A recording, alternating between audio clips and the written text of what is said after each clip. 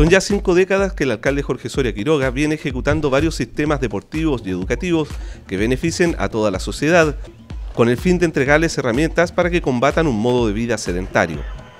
Por tal razón, fue el propio jefe comunal quien implementó en la ciudad un plan maestro de la actividad física y junto con ello creó el colegio deportivo con el objetivo de utilizarlo como un vehículo transformador en las vidas de los niños y adolescentes provenientes de los sectores más vulnerables de la comuna. Para Soria Quiroga ha sido siempre una prioridad el que los iquiqueños practiquen algún tipo de deporte, ya que los ayuda a mantenerse en forma y evita además el riesgo de enfermarse, puesto que quienes hacen actividad física están más protegidos de desarrollar diabetes y problemas cardíacos.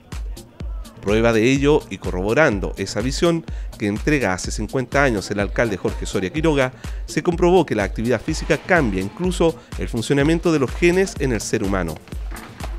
Bien sabido que ser sedentario es peligroso y que por el contrario la actividad física mejora la salud, la calidad de vida y favorece la longevidad.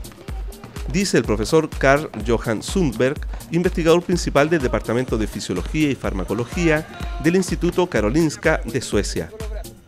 Sin embargo, el cómo los efectos positivos del ejercicio influyen en el cuerpo es algo confuso todavía, para aclarar esto, Zumberg y su equipo realizaron una investigación que concluyó que la respuesta podría estar en parte en el ADN. El ejercicio, según este estudio, cambia el funcionamiento de los genes, los que se apagan o encienden según las señales bioquímicas que reciben del cuerpo. Por supuesto, yo creo que en todos lados, esto del deporte, la alimentación, la disciplina, eso es fundamental en cualquier ámbito de la vida tanto si son deportistas o son, trabajadores, pero ya, si, el niño comienza en el CODE, ya con una disciplina totalmente estricta, ya el niño va, después cuando sea ya más adulto, él va, va a ser estupendo. O sea, esta es una visión que le están dando muy buena. La investigación en tanto consistió en reclutar a 23 jóvenes sanos, hombres y mujeres, a quienes les hicieron diversas pruebas y exámenes de laboratorio, incluyendo una biopsia muscular.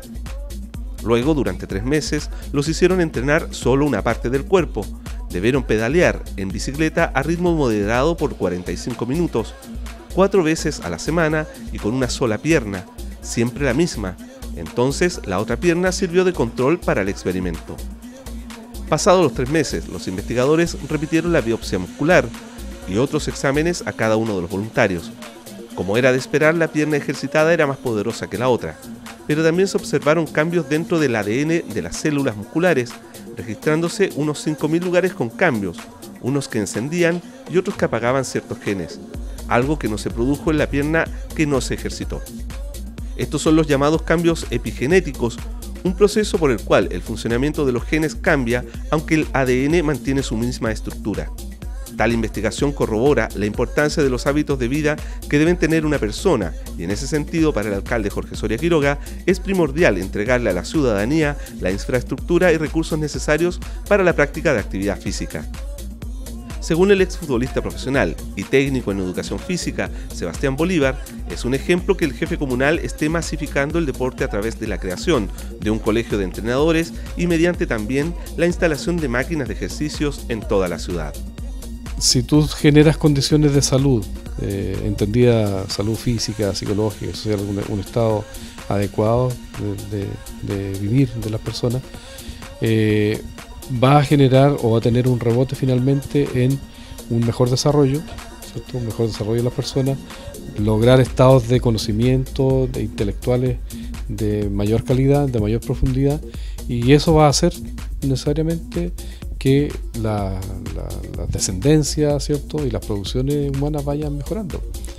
Eh, por lo tanto, todo justifica de buscar las condiciones para que se genere un buen estado de, salud mental, psicológico, físico. El otro día que, fuimos allá a dejarle un obsequio nos, estuvo hablando un poco de, la idea que quiere para el 2015 para Iquique, eh, para un Iquique más deportivo, que encuentro que es una buena iniciativa y ojalá eh, los profesores que, o los monitores que estén a cargo de, cada deporte, que, traten de entregar todos sus conocimientos y traten de hacer las cosas bien para que los niños realmente surjan y volvamos a, tener ese, nombre que tenemos nosotros de, Tierra Campeones, Y empezar a sacar campeones, campeones.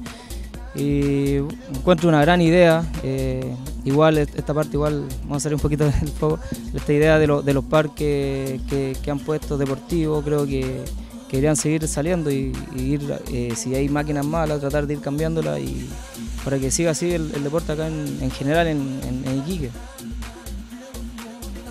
El estudio a su vez detectó que el ejercicio de resistencia afecta a miles de genes asociados a una mejoría en la función muscular y en la salud. Esto podría ser de gran importancia para el tratamiento de enfermedades frecuentes como la diabetes y los problemas cardiovasculares, así como para mantener una buena función muscular a lo largo de la vida. Ahora ya está con, estudios básicos, pero es muy importante seguir este, estas investigaciones, empezar a leer, a empezar a, culturizarse, saber qué es, lo que, qué es lo que hace bien, qué es lo que hace mal. El deporte siempre ha sido bienvenido. Y yo por eso que le digo a la gente siempre, vamos a hacer ejercicio, vamos, seamos flojos, levántense a las 8 con energía, ¿me entiendes? Y vaya adelante. O sea, el día es lindo, mira, Iquique. ¿ah? Estuve en Irlanda, no hay nunca sol. A la gente le, le cuesta levantarse. Pero si tiene ese concepto de deporte, de querer, de, de estar alegre, ¿ah? de vivir alegre, es el deporte que, te, que te ayuda a todo esto. Es indudable entonces, la población inquiqueña se ve beneficiada con esta política deportiva municipal que se implementa en las poblaciones y colegios públicos de la ciudad, los cuales el 2015 verán aumentadas sus horas de educación física. Para ello, eso sí, los padres y familiares de los niños de nuestra comuna deben cumplir un rol fundamental con los menores, ya que como plantea Soria Quiroga, no existe mejor compañía y apoyo que los pequeños se sientan alentados día a día por sus progenitores. De eso se trata mi llamado, a que todos colaboren. Todos los meses en estar con el profesor en un diálogo para saber cómo ayudar al chico. Ese chico bien preparado físicamente, mentalmente, va a triunfar en la vida. Y esa es la tarea de un alcalde cuando tenemos la educación.